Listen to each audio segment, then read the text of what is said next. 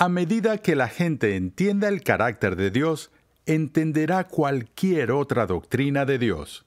Pero necesitamos llegar a una comprensión más profunda de quién es Él, cuál es su carácter, cuál es su naturaleza, porque no hay nada en la teología que defina todo lo demás tan exhaustivamente como nuestra comprensión de Dios.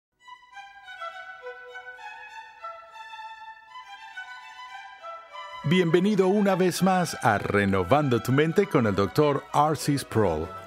Esta es la novena lección en la edificante serie de enseñanza Fundamentos, un panorama general de la teología sistemática.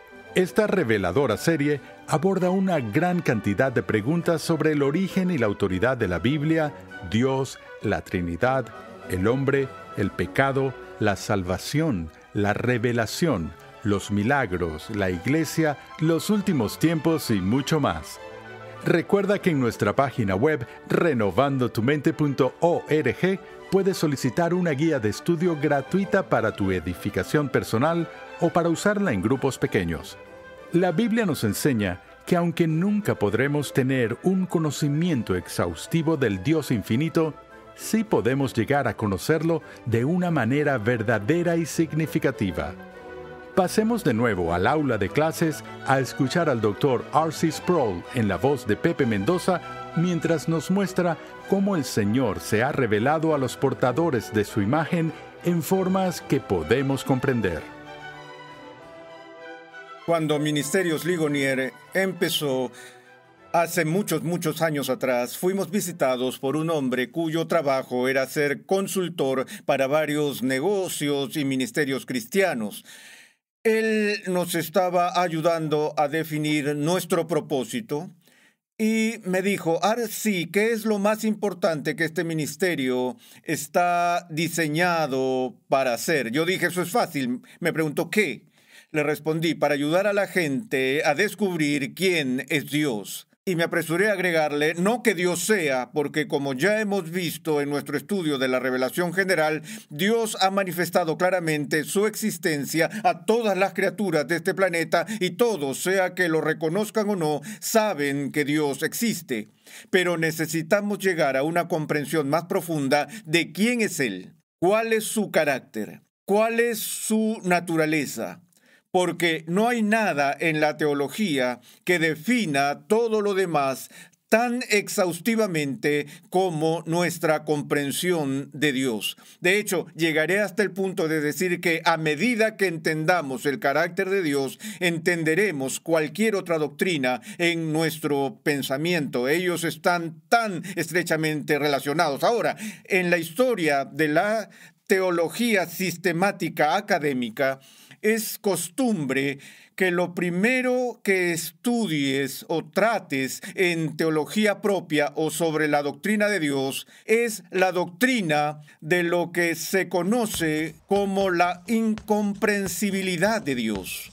Ahora, eso casi parece al inicio del comienzo de tu estudio de Dios como un descargo de responsabilidad que dice, bueno, vamos a empezar a estudiar algo de lo que no sabemos nada. Y no solo no sabemos nada, sino que no podemos saber nada al respecto, porque cuando usamos el término incomprensible, en nuestras formas de hablar habituales, lo que queremos decir es ininteligible, incomprensible. Simplemente no puedo comprenderlo, es inconcebible. Y entonces, ¿por qué ir más allá en el estudio de la teología si al inicio dices que la doctrina de Dios es tal que Dios mismo es incomprensible? Bueno, este es uno de esos casos en los que un término teológico se utiliza de una manera más estrecha, distinta y precisa de lo que se utiliza comúnmente en el habla cotidiana. Lo que significa incomprensible con respecto a Dios no es que no podamos saber nada de Él, sino que nuestro conocimiento conocimiento de Dios siempre será limitado que podemos tener un conocimiento perceptivo de Dios, un conocimiento significativo de Dios, pero nunca podremos, ni siquiera en el cielo, tener un conocimiento de Dios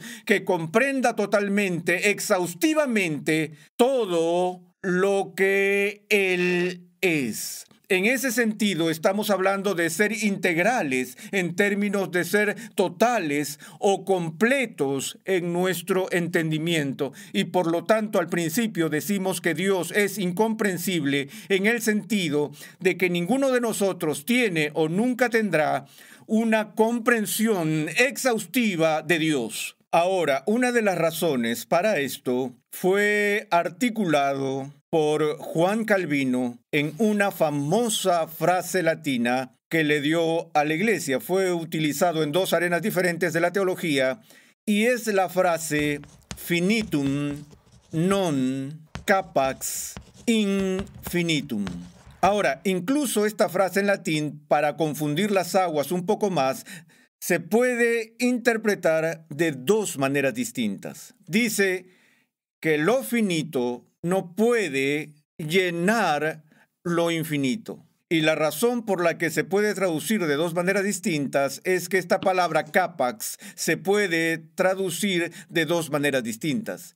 Y esas dos maneras diferentes son las siguientes. Una, lo infinito no puede contener o lo, o lo, finito no puede contener lo infinito. Eso es simple, ¿no? Si tuviera un vaso que equivale a un vaso de 250 mililitros, ese vaso no podría contener un, un millón de litros de agua o una cantidad infinita de agua, porque solo tiene un volumen finito, por lo que lo finito no puede contener el infinito. Pero otro significado de la palabra capax es la palabra captar. Y eso es de nuevo para comprender en su totalidad. Entonces, una vez más, mi mente es finita. Y mi mente finita no tiene la habilidad o la capacidad de captar todo lo que Dios es. Sus caminos no son nuestros caminos. Quien puede ascender a los cielos y bajar a Dios y todo lo demás.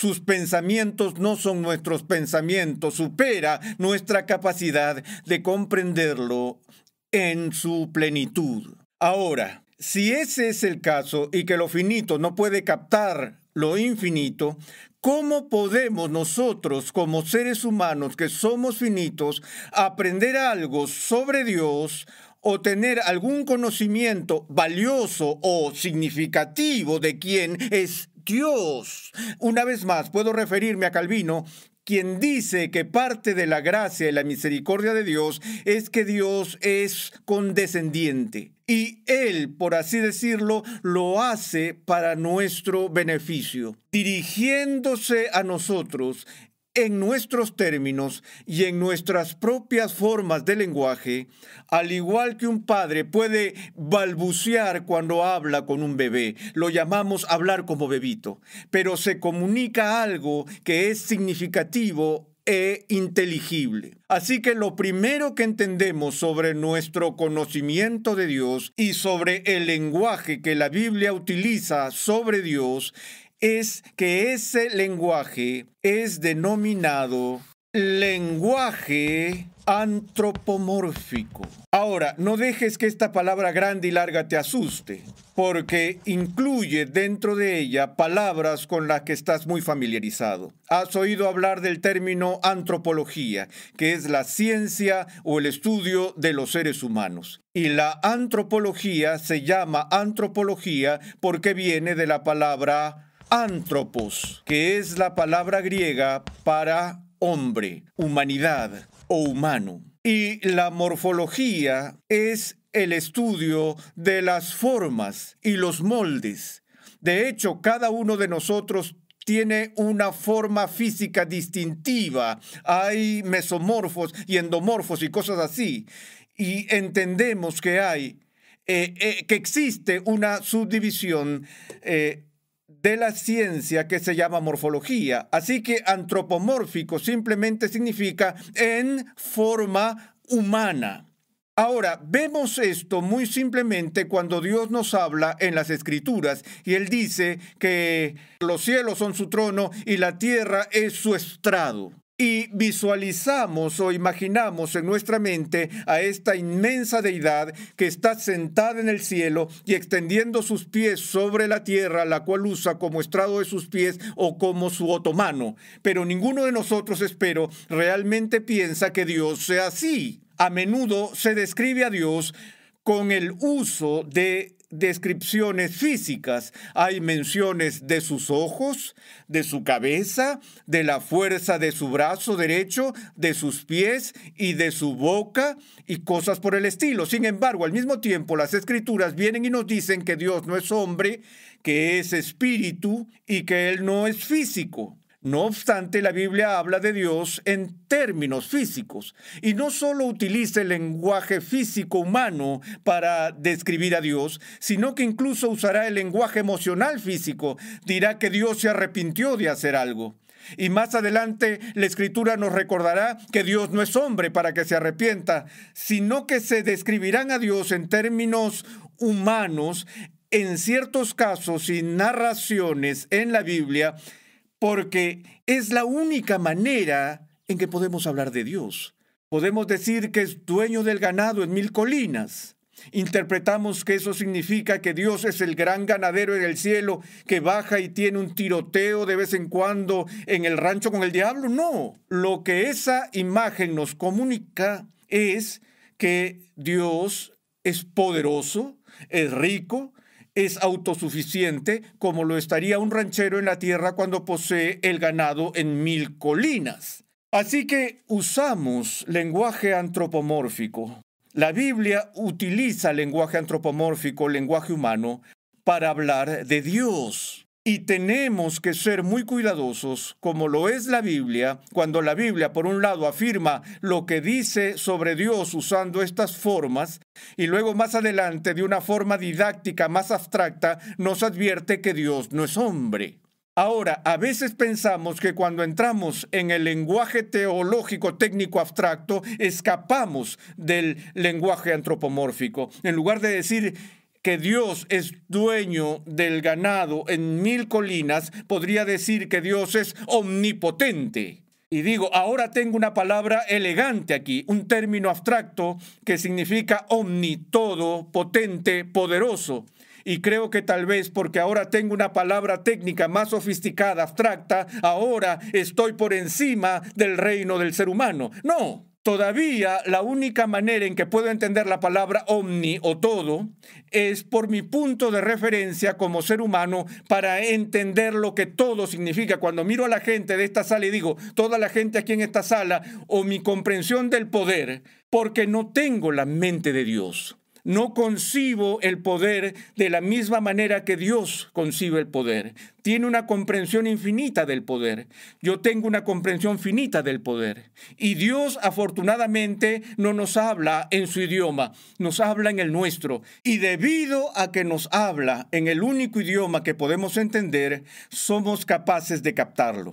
En otras palabras, todo el lenguaje bíblico es antropomórfico y todo el lenguaje sobre Dios es antropomórfico porque el único idioma que tenemos a nuestra disposición es el lenguaje antropomórfico porque somos antropoi, somos seres humanos. Ahora, debido a estos límites impuestos por la diferencia, el abismo entre el Dios infinito y los seres humanos finitos, la Iglesia ha tenido que ser muy cuidadosa al definir las diferentes maneras en las que describimos a Dios y mencionaré alguna de esas ahora.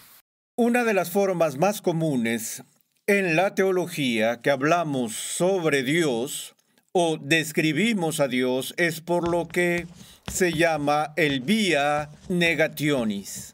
Y la vía, si alguna vez has estado en Europa o en Italia, se ve lo que la palabra vía significa. Dije que estamos hablando de maneras de hablar. La vía dolorosa en Jerusalén es el camino del dolor o el camino del sufrimiento.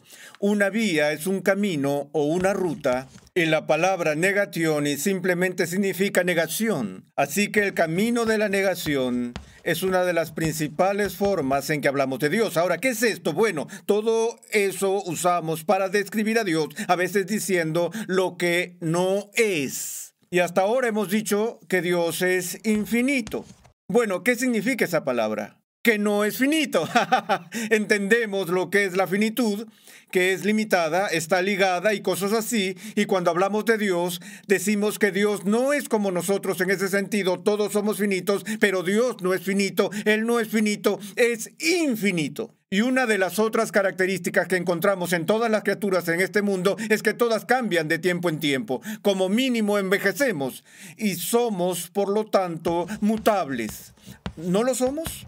Porque sufrimos cambios o sufrimos eh, eh, alteraciones eh, o mutaciones. Cuando hablamos de Dios, ¿qué decimos? Él es inmutable. Eso significa que no es mutable. Entonces, puedes ver en este punto lo que estamos diciendo sobre Dios es lo que Él no es. Ahora, hay algunas personas escépticos quienes dicen que eso es todo lo que puedo decir sobre Dios, es lo que Él no es. Pero la teología bíblica enseña que además de hablar de Dios por medio de la negación, hay otras dos maneras en que hablamos de Dios. Una es la que se llama la vía eminentiae o el camino de la eminencia.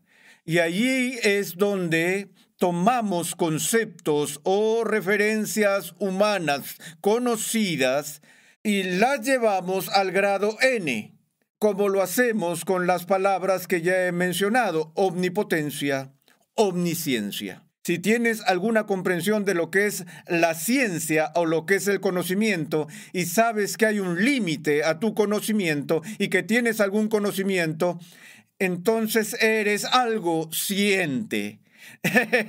no eres omnisciente. Tomamos la palabra conocimiento, ciencia, en este caso siente, lo elevamos hasta el grado supremo y lo aplicamos a Dios. Es decir, que tiene un conocimiento eminente. Es omniconocedor, es omnipresente. Está localmente presente, estás presente localmente, estoy presente localmente, pero Dios está todo presente y todopoderoso y así sucesivamente. Y así construyes esta visión intensificada donde proyectas hasta el grado N los conceptos con los que puedes relacionarte y lo entiendes como parte de tu punto de referencia común y lo refieres a Dios. Y el tercero es lo que se llama el vía afirmatos, no me molestaré en escribirlo, simplemente significa el camino de la afirmación, donde hacemos declaraciones específicas sobre el carácter de Dios, es decir, que Dios es uno, que Dios es santo, que Dios es soberano, etcétera, donde estamos atribuyendo positivamente ciertas características a Dios y afirmando que son verdaderas en Él. Ahora,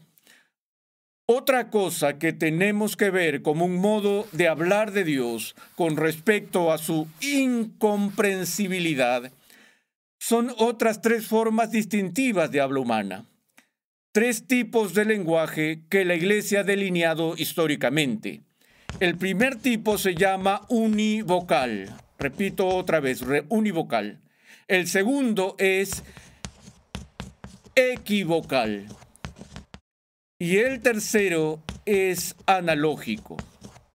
Ahora, esta es la diferencia entre estos términos. El lenguaje univocal o unívoco significa o se refiere al uso de un término descriptivo que cuando se aplica a dos seres diferentes significa exactamente lo mismo.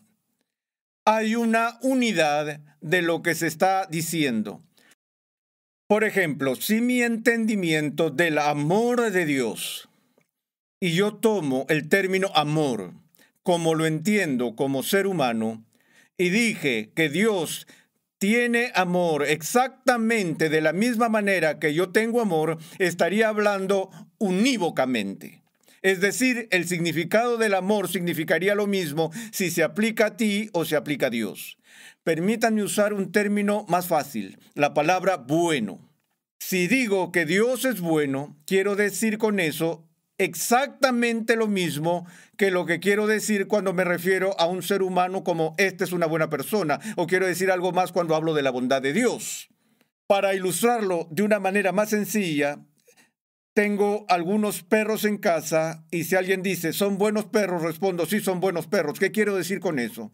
No estoy diciendo lo mismo cuando digo que mi perro es bueno que cuando digo que mi vecino es bueno.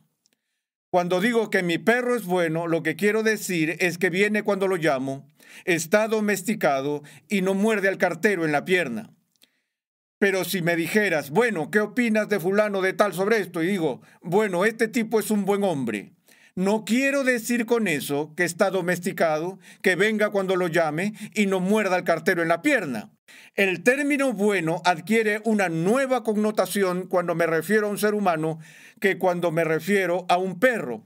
Así que allí el significado del término cambia cuando se aplica a dos seres diferentes. Ahora bien, univocal no permitiría tales cambios y el punto que hacemos aquí, tal como dijo Agustín, de que todo lo que se afirma de Dios unívocamente o que se afirma de Dios de alguna manera debe ser negado en su sentido unívoco porque Dios nunca es exactamente lo mismo que nosotros. Equívoco es cuando el significado de un término cambia radicalmente cuando se utiliza para dos seres diferentes.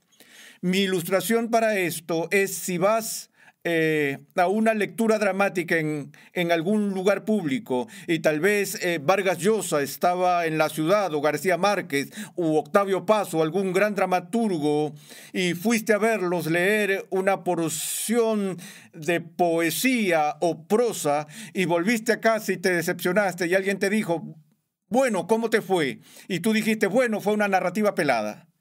¿Qué quieres decir con es una narrativa pelada? No estás queriendo decir que la narrativa no tenía un pelo en la cabeza.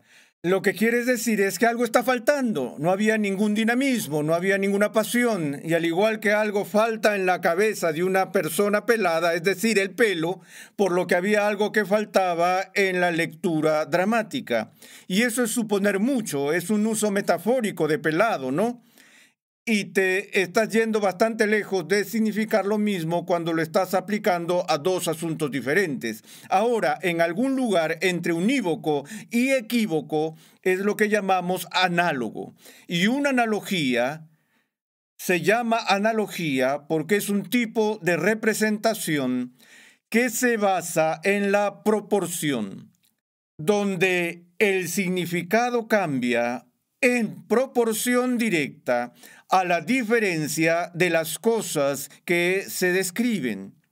Eso es lo que estaba resaltando con el perro bueno, el hombre bueno, el Dios bueno, para que haya un aumento en los significados, que cuando decimos que Dios es bueno, queremos decir que su bondad es como o similar a nuestra bondad. No es idéntica, sino suficientemente parecida como para que podamos hablar de forma significativa unos con otros. Entonces, el principio fundamental aquí es que a pesar de que no conocemos a Dios de forma exhaustiva y completa, tenemos una manera significativa de hablar de Dios, porque Dios se ha dirigido a nosotros en nuestros términos y nos ha hecho a su imagen para que haya una analogía entre nosotros y Él, y eso nos da una vía de comunicación entre Dios y nosotros.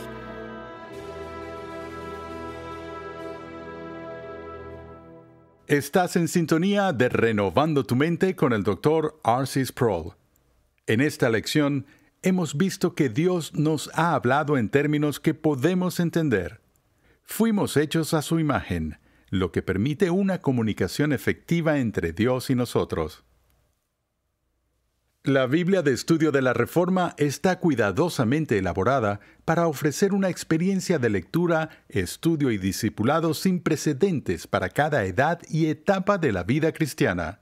Esta Biblia de Estudio cuenta con más de un millón de palabras de explicaciones versículo por versículo y temáticas con la colaboración de 75 distinguidos pastores y teólogos de alrededor del mundo, liderados por el Dr. R.C. Sproul.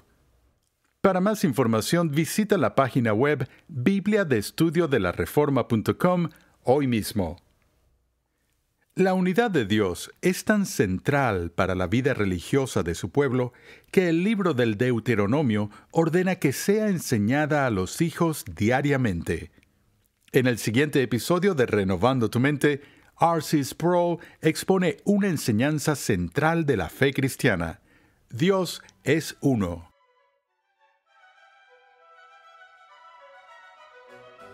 Renovando tu mente es una producción de los Ministerios Ligonier, la confraternidad de enseñanza del Dr. R.C. Sproul. Nuestra misión, pasión y propósito es ayudar a las personas a crecer en su conocimiento de Dios y su santidad. Nuestra programación es posible gracias al generoso apoyo en oración y financiero de cristianos alrededor del mundo. Para hacer tu donación, por favor visita nuestra página web renovandotumente.org. Para contactarnos, por favor envíanos un correo electrónico a programa arroba renovandotumente.org con tus preguntas, testimonios y comentarios.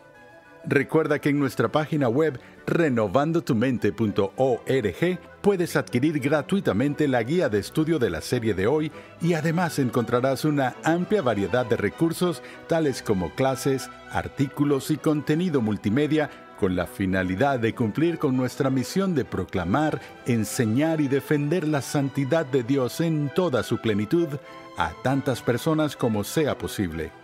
Sintonízanos nuevamente en esta misma emisora y en este mismo horario y únete a nuestra gran comunidad virtual en las redes sociales.